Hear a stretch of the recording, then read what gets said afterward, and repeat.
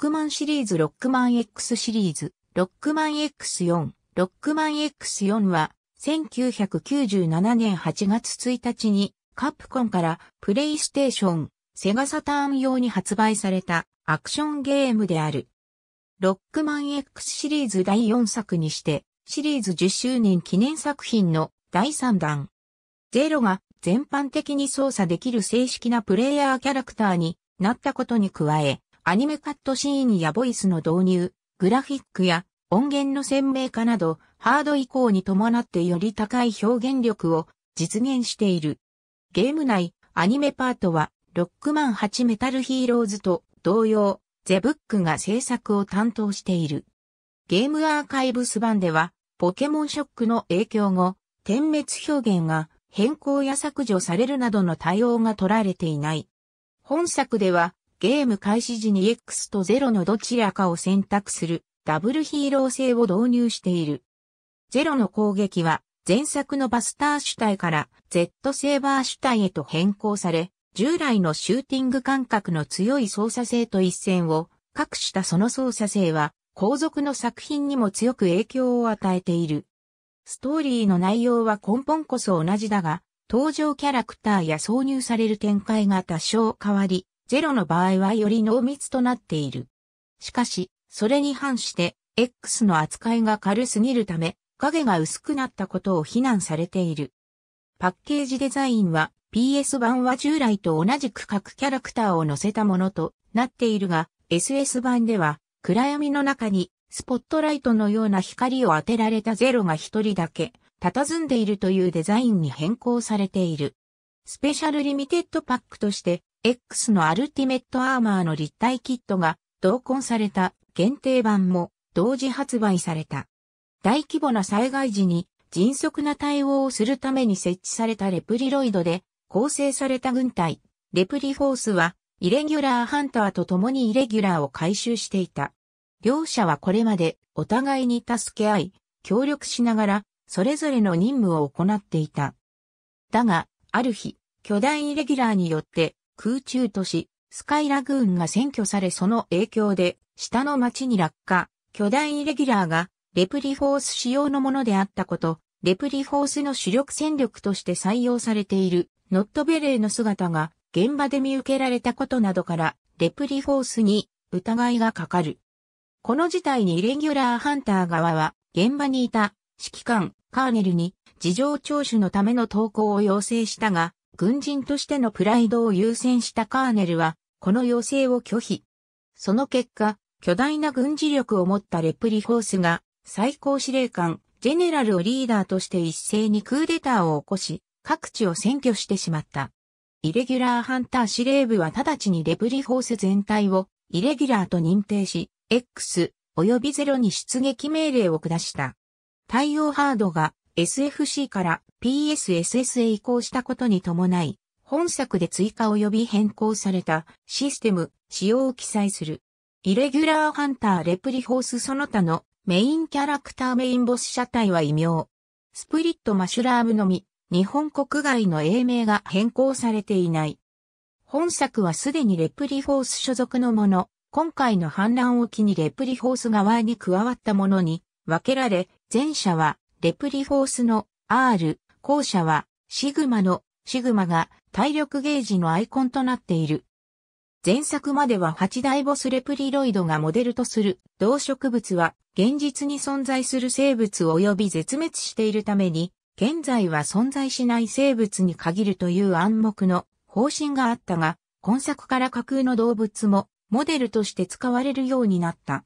プレイ時の選択キャラクターによって、ボスキャラクターの弱点となる武器が異なることも、前作との違いの一つとなっている。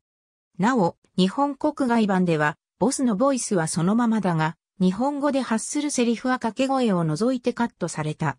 また、日本国外版では、クジャッカーだけ声が丸々カットされ、無声になっている。その他のボスキャラクター中、ボス基本的にそのステージのボスと弱点武器が同じ。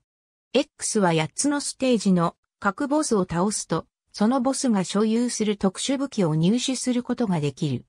強化パーツの一つであるアームパーツを入手して、初めてチャージが可能になる。本作では強化パーツ、ヘッドパーツを入手すると特殊武器の通常、消費エネルギーが0になり、チャージしなければ無制限に使用できる状態となっている。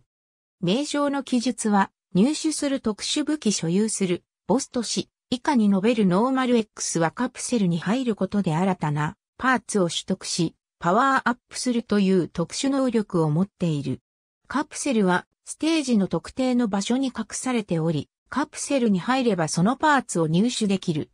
なお、本作ではアームパーツが2種類存在し、ゲーム内ではカプセルに入り直すことで任意に取り替えが可能である。いずれも特殊武器のチャージも可能になる。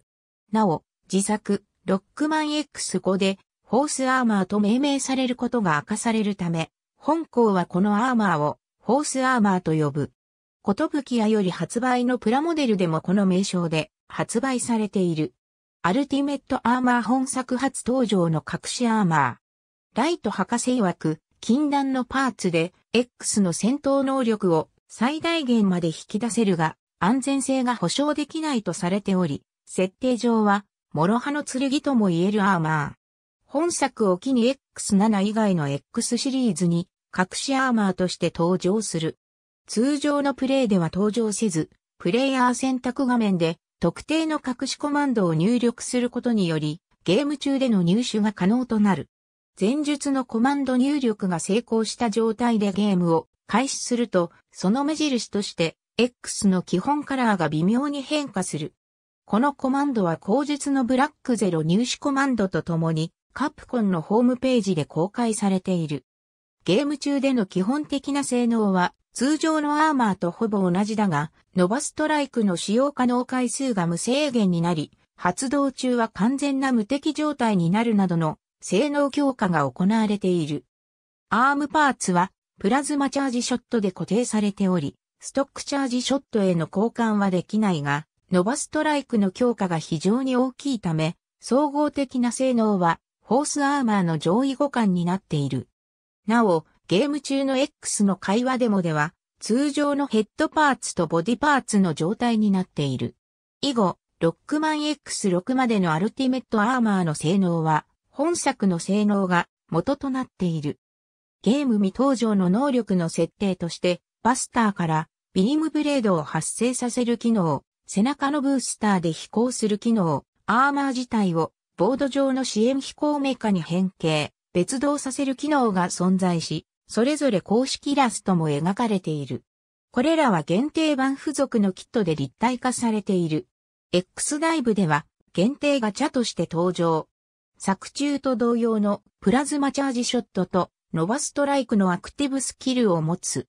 ノバストライクは無制限で発動できるが、発動後は再発動までのクールタイムを25秒間となっている。また、アームパーツと同様で、紫色仕様の武器アイテム、アルティメッターも登場する。ゼロは内部に組み込まれたラーニングシステムにより、ボスを倒すと攻撃技もしくは移動技を習得する。また、X とは異なり、その大半は武器ゲージを消費せずに使用することができる。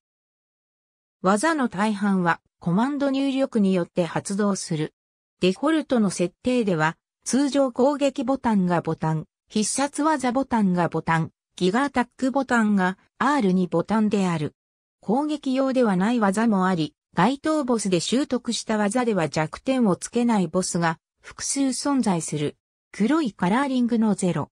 X のアルティメットアーマー同様隠しキャラクターのような位置づけであり、通常のプレイでは登場せず、プレイヤー選択画面で特定の隠しコマンドを入力することにより、ゲーム中での使用が可能となる。アルティメットアーマーとは異なり、外見が変化する以外通常のゼロとの性能差は一切なく、ムービー中やダッシュ時の残像は赤いままである。2種類とも従来の土木作業用、ライドアーマーに戦闘能力の限界を感じたレプリフォース兵器開発部が開発を行った戦闘用ライドアーマーである。レプリフォースに偽造された巨大、イレギュラーイコールイレギオンがスカイラグーンを襲撃し、動力炉が破壊される。地上の市街地に落下し、多数の犠牲者を出す。大惨事となった。カーネルはラグーン落下の法を受け、イレギュラーに拉致されたアイリスの救助を金をくれて、自分の受け持っていた部隊と共に駆けつけた。ハンター司令部は現場に向かったハンターたち同様、レプリフォースと思われる軍隊がスカイラグーンを選挙という情報を受けており、X はばったり会ったカーネルに武装解除、任意同行を要請する。カーネルはこれを断りその場を去ったため、ハンター本部はレプリフォース全体への疑いを強めた。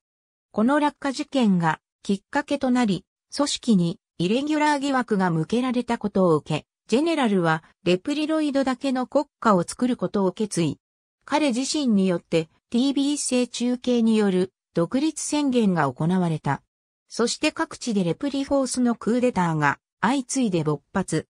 大量のライフライン施設を破壊、選挙し多くの犠牲者を出すに及んで、慎重な姿勢を見せていた、イレギュラーハンターもレプリフォース組織全体をイレギュラー認定せざるを得なくなる。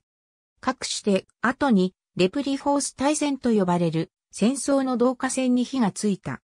レプリフォースはかつてロックマンのような闘争心と平和を愛する心を持ったレプリロイドの開発を計画していたが、いざ実験を行うと結果は失敗となってしまった。その際に相反した先の二つの心が分離し、闘争心がカーネル、そして平和を愛する心がアイリスに返事兄弟レプリロイドとなったとされる。両者が同じ CPU を使用し、プログラムの大半が似通っており、互いを思う言動を見せる。しかし、ロックマン X4 では出血シーンが含まれるため、ロックマン X アニバーサリーコレクションにおけるセロによるレーティングでは、ロックマン X シリーズとして初めてにして異例の B に区分され、暴力コンテンツアイコンが初めて使用された。プレイステーションマガジンより、ボタンはバスターと特殊武器を兼用、ボタンはバスター専用。はじめは紫色のエネルギーを放つ球状だが、戦闘時には小八面体の形状のビット A と変わった。講談社間、ロックマン X4X トス攻略ファイルにおいては、この時にゼロからイレギュラー化を促進するウイルスに感染した旨が明記されている。